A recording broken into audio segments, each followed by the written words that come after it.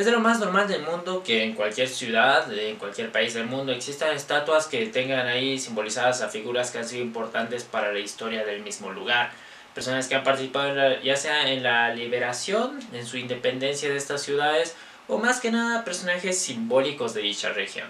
Sin embargo, existe en la ciudad de Burbank, California, una estatua de Batman que sí, como muchos se pueden imaginar, no tiene nada que ver con la historia de la ciudad, sino más bien esta estatua fue realizada con el único fin de representar y de simbolizar el gran impacto que ha tenido el personaje para la cultura pop, ya que tenemos que ser conscientes de que junto con Spider-Man y Superman son tal vez los tres superhéroes o personajes del cómic que mayor cantidad de adaptaciones han tenido a la pantalla grande, y sobre todo de los más populares y que mayor cantidad de fanáticos reúnen alrededor del mundo. DC Comics anunció en su web de que llegó a un acuerdo con la organización Visit Burbank para poder establecer la estatua del Caballero de la Noche en dicha ciudad. La estatua se encuentra en la pasarela AMC Walkway de la ciudad de Burbank, que está precisamente en el centro de esta misma, y la estatua tiene una altura de 2.7 metros, pesando más de 200 kilos, hecha en cobre.